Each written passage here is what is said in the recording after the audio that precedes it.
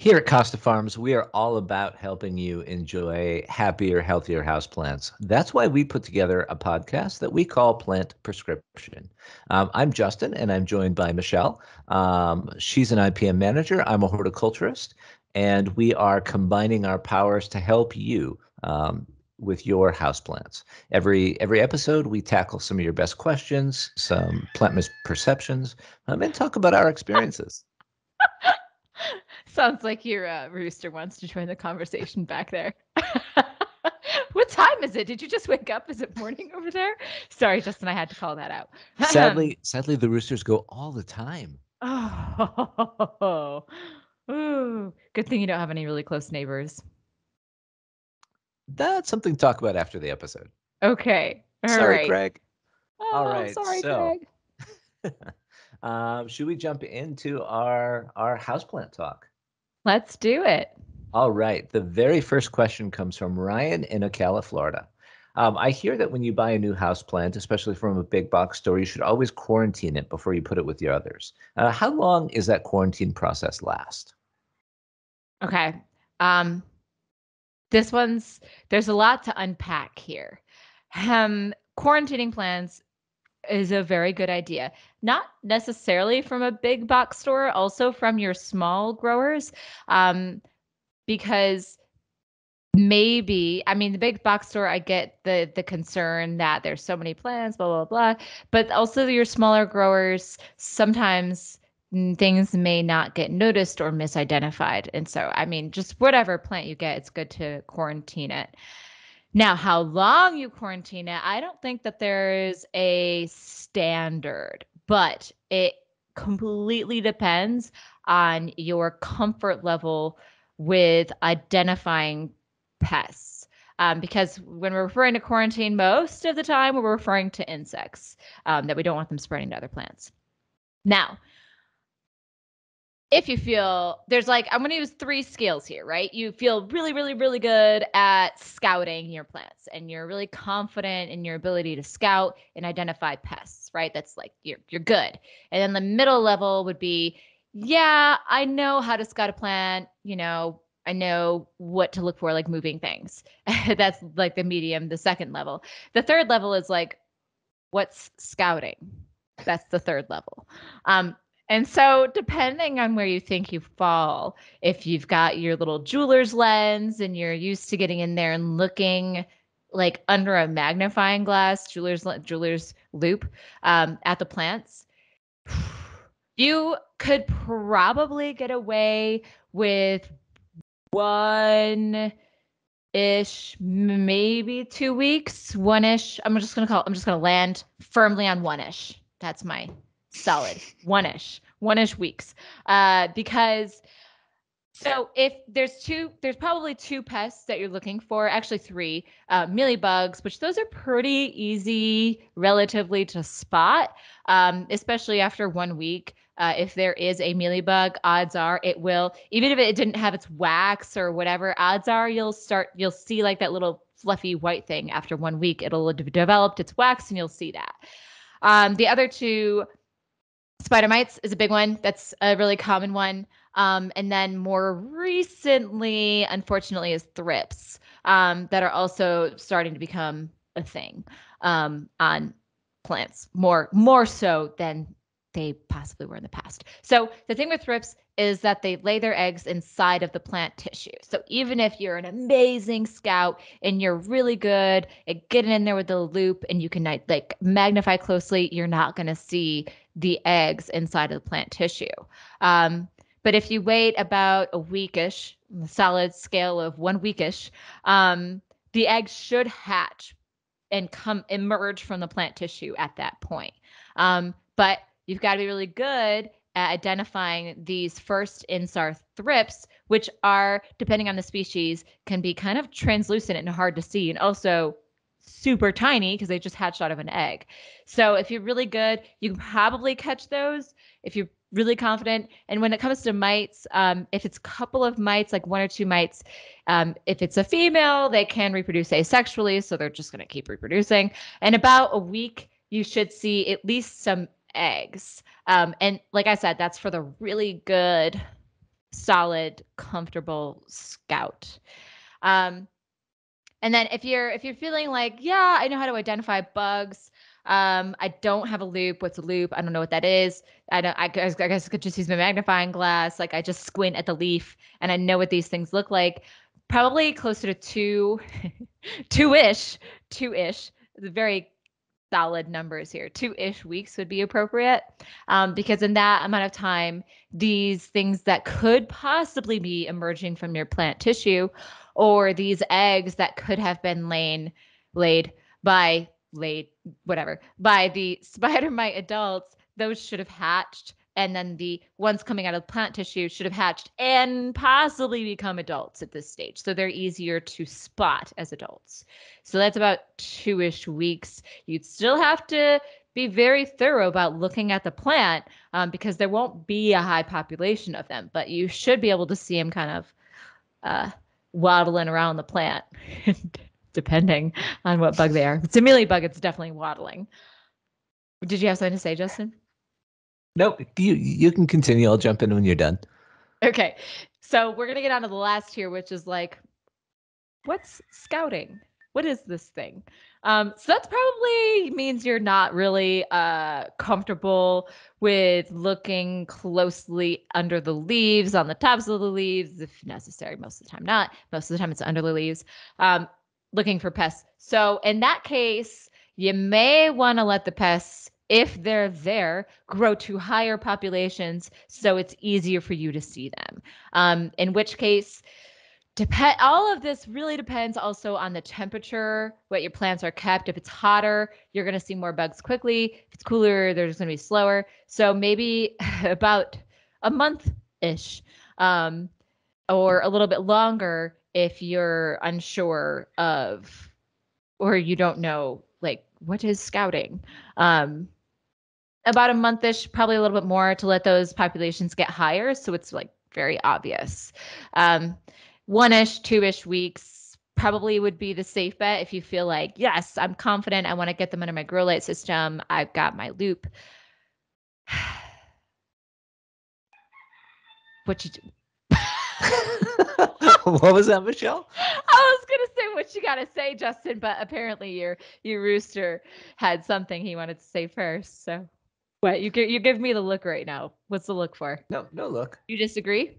You can no, disagree I, if you want. I don't know. I, I I absolutely don't disagree. Um personally I I tend not to quarantine. Um I live on the edge that way. Um, although I do I do look and and I look for um I look for symptoms of the damage. Exactly. Um, more so than the the insects themselves.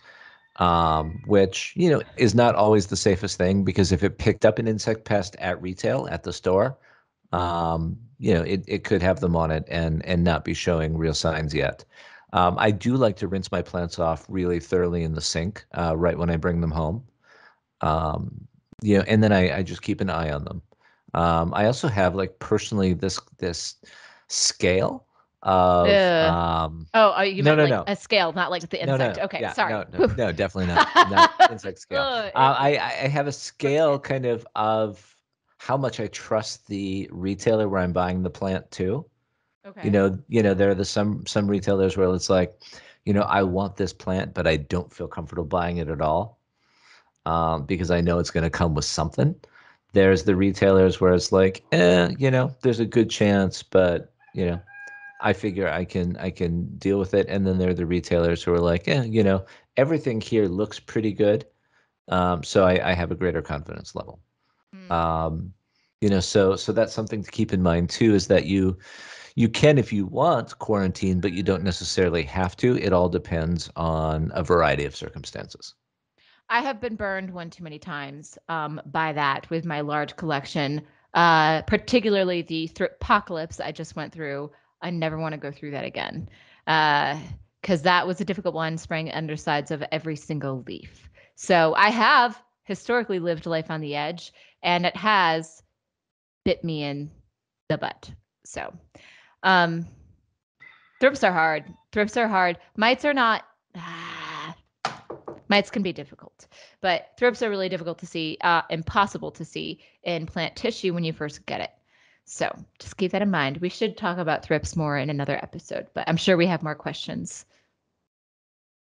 We yes, we have an abundance of of questions. Any about um, thrips? Uh, for well, I was going to say for future episodes. Um, okay. Uh, so let's jump on to question two. Uh, this comes from Elizabeth in Forest Grove, Oregon. Um, I think I might have been overwatering my little Swiss Monstera. How do I know if it has root rot? Aw. Well, what do you think, Justin? I'm gonna. I kind of I talked a lot on the last one, so you go first. To me, the easiest way is to pop it out of the pot, take a look at the roots. Um, if the roots are nice and firm and white, you know, probably not root rot. Um, if the roots are starting to get discolored, soft, mushy, you know, then they're they're they're rotting. So, you know, an interesting thing about root rot that I think is a common misperception, and I'm probably spoiling a future um, mis misperception for an episode, but um, yes, um, is is that root rot's not the immediate cause, right? You overwater a a, a plant, um, the roots start to die because they're suffocating, and then they rot. It's not like like it's it's an immediate thing. Um, does that make sense? It does, but I do have an argument for that. but we're not. We'll get into it off. We'll get into it off air. I was just looking at it from a fungal perse- per perspective. But you're right. As with the triangle of death, there's always a factor there, the stress on the plant that has to occur. Exactly. Yeah. You're you're you're. If you have healthy roots that are overwatered, they're not immediately going to rot. They have to start to die first from the overwatering before you get the root rot action. Yes. So, um, easiest way again. Uh, that was a really long way to to go around um, to say, you know, take a look at the roots. If they're if they're healthy, great. If they're not, um, then you want to evaluate how damaged they are. Um, there needs to be a balance between the number of roots and the number of leaves. The roots are responsible for absorbing moisture from the soil, and then the plants release that moisture through the, the transpiration process. So that's actually why the leaves turn yellow, um, is because the roots are trying to compensate. There's not enough root matter to absorb the moisture for the plant. The leaves have to start dying because they're not supported by by the moisture in the soil. Makes sense. Um, it is a really good observation, which is one of the things that I was going to talk about was if your plant is wet and it's wilting or it's yellow, um, that's a really good indication that there's something going on with roots because we can't always look at the roots. Sometimes the plants are really big, they're in a super inconvenient location, or they're in a pot with other plants. It's impossible to take just that plant out. Um, so if it's wilting and it's wet, well, that means it's not getting water. It could be either a crown issue or a root issue most of the time if we're talking houseplants i would guess it's a root issue. Um, but overwatering has to happen before anything else. And as a general rule i would say maybe 80% of the for 80% of the people if you think you you might be overwatering you probably are you're killing it with your love just kidding i've totally done it um, yeah a lot of plants need a lot less moisture than than we think yeah. Yeah. Or you just forget it sitting in something and not draining is more often, I think, what happens is that there something happened, the drain hole got clogged, et cetera, et cetera, et cetera. Or it didn't have a drain hole. Whoops. Um, uh, I don't really have much else to say about that.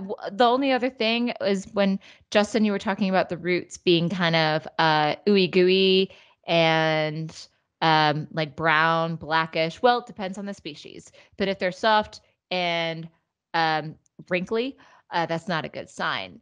Another thing is if you do tug on that like nasty looking root and it just kind of sloughs off and leaves a little string underneath it, well, that that that is something going on there. There's something in there. It is some sort of root rot. Could be quite a few species of fungi most of the time. Yeah.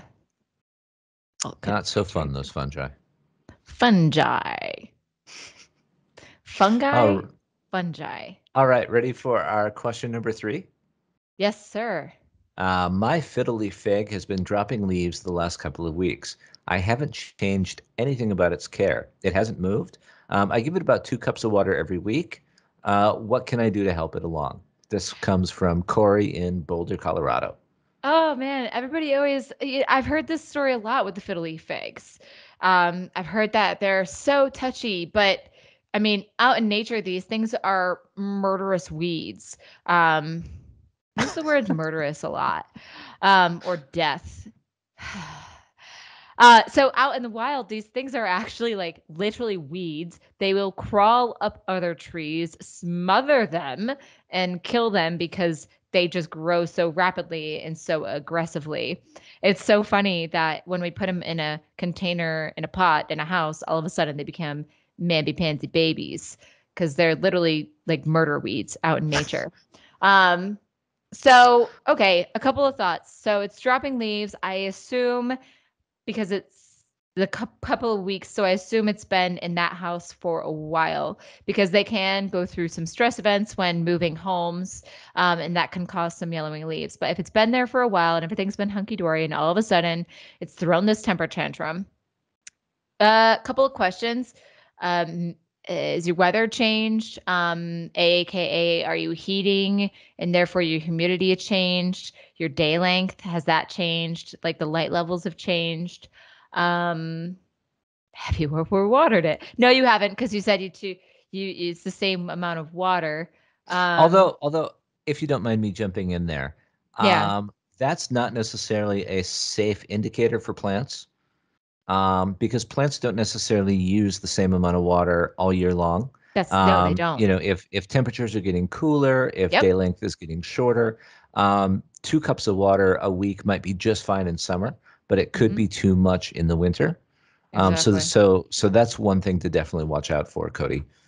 Or the opposite. Um, in the winter, if it's less humid. So everybody, there's this misconception that you shouldn't water your plants in the winter. Um, I'm calling I'm calling baloney on that uh, for certain circumstances. Because if you have a heated house like mine and it dries down a little bit in the winter, you're probably honestly going to need to water your plants more, especially if they're like mine under grow lights. And then all of a sudden, you're adding heat, you're taking away some humidity, it's going to dry those things down more in the winter. I find myself watering my plants often. Um, so, yes and no. Uh, but what Justin said is true. Two cups could be sufficient at one time of the year and not at another time. Again, what's changed uh, aside from the location of the fiddly fig and the watering? Uh, seasons, light levels. Uh, is there a draft on it? Yeah, if you've just started heating, you know, yeah. and you weren't and you weren't using air conditioning before, a vent might might be on it now that wasn't on it before.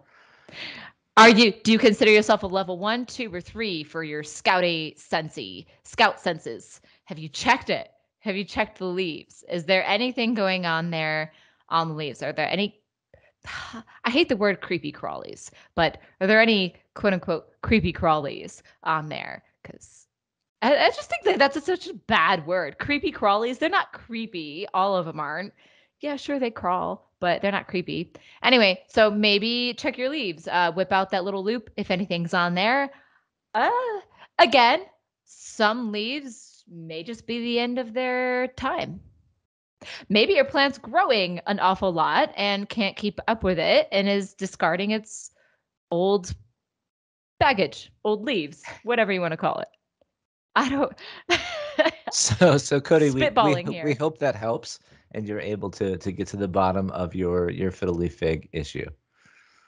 Um, moving on to our our misconception. Okay. Um, I I see this one a fair amount on on social media. Um, people talk about how like Pothos likes to be root bound. Does it now? um, and um, so my my my philosophy, and Michelle may disagree with me here, we'll um, is that no plants actually like to be root bound. It's all a matter of how much they tolerate it. Uh, because if you think about it in nature, you know they're not usually in a situation where they're they're root bound. It depends on what you're going for with the plant. It depends on the aesthetic that you're trying to go for. Um, bonsais, also like very root bound plants. But if you would like a bonsai tree, then yes, it is better to have it root bound, which we won't get into that too much. Um, but yeah, I agree with you though, Justin. In the wild, most plants have lots of room to spread their roots and stretch their arms. So I would say most plants agree with you. Most plants don't enjoy being root bound. Um, I do believe that in some plants that I, you know, I think I know where this misconception came from. Um, because with some plants that tend to be um, water efficient or drought tolerant plants, uh, they tend to be able to stand stand being pot bound a lot more readily than plants that are kind of they've got a water they've got a drinking problem let's just say. They like to have a lot of water. Um, those plants probably would not like being root bound because or pot tight or whatever we're calling it because that means they would get less water. Um, so with a pothos pothos pothos hmm. with that plant, uh, it can stand drought. And so maybe that is why, you know, more roots, less soil, therefore it is less likely to get root rot that way. And maybe that's what led to, led to this misconception. Yeah, I think I think some plants um, will will definitely show that they're not happy being root bound a lot more readily. Mm-hmm. Right. And so it's easy to say, oh, you know, this Fittonia doesn't like being root bound. Uh, but the pothos doesn't mind it, doesn't mind, doesn't necessarily equate to I like it. Yeah, because it doesn't need a lot of water. It's it's it's chill. It's good. It's drought tolerant. And so it's like, all right, well, at least I won't get root rot, you know? Exactly. But go ahead. I don't have anything uh, else. That was a pump fake. Go ahead. And any plant updates for us, Michelle? Uh no. Uh don't have any this week, surprisingly. What about you, Justin? Do you have any? Um, I am happy that my Xanthosoma has put out a new leaf. Ooh. Um, I, I have it in a room that that doesn't have as much light as it should, but I'm kind of shuffling around right now, trying to figure out exactly where I want everything for the winter. Mm. Uh, you know, I have to be a little careful because I have to position yeah. for drafts. Um, make sure that no plants are into precarious position because of the dogs. Um, you know, all of all of that chaos. Um, uh-huh. And so and so I know it's not the perfect spot for the xanthosoma, uh, but the fact that it put out a new leaf makes me makes me very happy. Um, and it also makes me want to reward her by bringing her someplace a little bit brighter. Well, I'll you know, she'll be even happier. Aww. Um, I can't wait to see her get bigger and watch those leaves get enormous. I got to send you a photo after afterwards. We've got one of the uh, not me personally, but I know somebody who does. It's really gorgeous. Anyway, um the I'm very excited about your Xanthosoma. You met Lindeni, right? Or is it Lindenii? It's Lindenii. Ha, I knew it. Okay also Welcome. known as Caladium lindenii. Yep. It is a it, it is a plant that has multiple botanical names. Like caladium. Yep. Yep.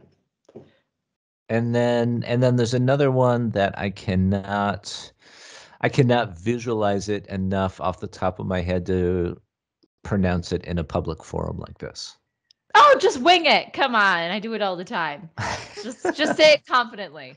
Just just no, just no. Like quickly, just as fast as you can. It'll come out right. Maybe. Uh I I don't know. I'm not I I'm I don't want to subject our uh our listeners to to it. Nor nor do I want anybody to come back to me and say, "Well, Justin said that's how it's pronounced." Okay, fine. Fine. I'm going to quiz you on it for the next time, though. Already. I'll hold you to it. So that's a wrap on this episode of Plant Prescription. Thanks, everybody, so much for giving us a listen. Um, if you have plant questions you'd love to see featured on a future episode, just reach out and let us know. In the meantime, happy gardening. Bye bye.